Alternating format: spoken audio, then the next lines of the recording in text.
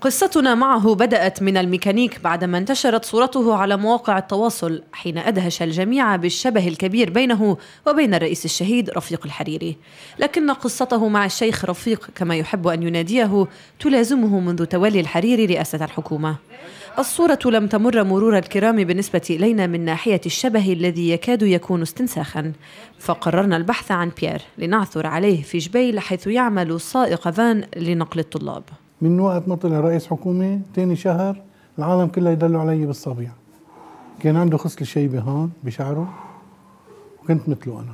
عم أقول لك إنه كل العالم وين ما بروح كل العالم تنقص بس تشوفني. صرت معود إنه أنا على الأرض بشبه الشيخ رفيق.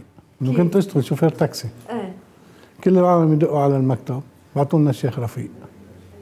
الشيخ رفيق زعيم منو شوفير تاكسي. عدة مرات آخر شيء قلت لهم خلص ما بدي اشتغل إنه بيقولوا هيك على أساس إنك بتشبه إيه بيشبه. صار اسمك هيك. وكان كل الناس هلا هلا وين ما بروح شيخ رفيق بقول لها لمرتي بس تكوني ماشيه حد إيه، مني عرمي. بالله عرمي. وهنا لابد من الإشارة إلى أنه عندما التقيناه لم نصدق الشبه حتى أن من يراه شخصيا يضيع للوهلة الأولى في محاولة للفصل بين الشخصين. يرفض بيير إلا أن يبدل ملابس العمل ويرتدي البدلة. يحدثنا عن بعض المواقف التي تعرض لها في حياته كشبيه للشيخ رفيق. كنت طالع من عند القبر سيارات قاطعين. هلا شافوني طالع من هونيك أنا. نقزوا واحد ضرب frein اجى واحد فات فيه. هلا بس صار الحادث أنا زمطت ضليت رايح عند ال Virgin. طلعت بالعربية دورت وفليت. بقى كنت بطرابلس أنا ومرتي رايح تجيب اغراض بتقول لي بيير بيير وراك. ببرم أنا هيك بشوف زلمه راكض لعندي قال لي أستاذ ولو please إذا بتريد. بدي اتصور صورة معك.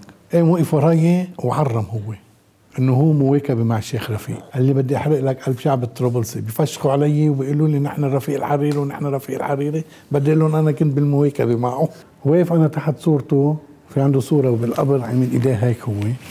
واقف هيك هالوقفة هيك.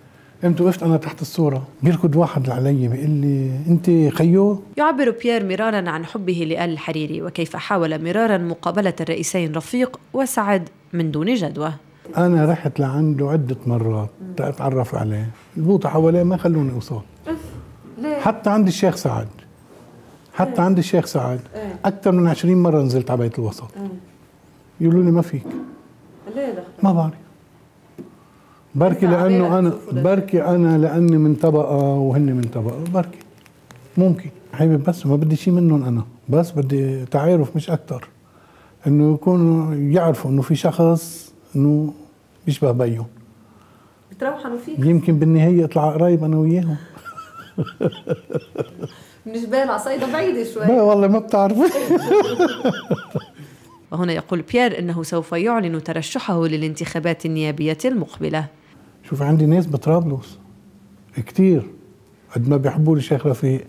بيقولوا لي ترشح على الانتخابات وخذ الأصوات منا بس نزل صورك. بطرابلس بطرابلس تعملها؟ بدي أعملها. والله؟ بدي أعملها. شو بدك تعمل؟ بدي أترشح على الانتخابات. شخصية عفوية وطبيعية. يحلو الحديث معه عن حياته كشبيه لزعيم. لكن شبه هذا يبقى ظرفيا. فبيير يبقى رجلا يعيش الحياة بما فيها من بساطة. يعمل طوال النهار ليعيل أولاده وفي وقت فراغه يلعب دور الزعيم. نوال بري قناة الجديد.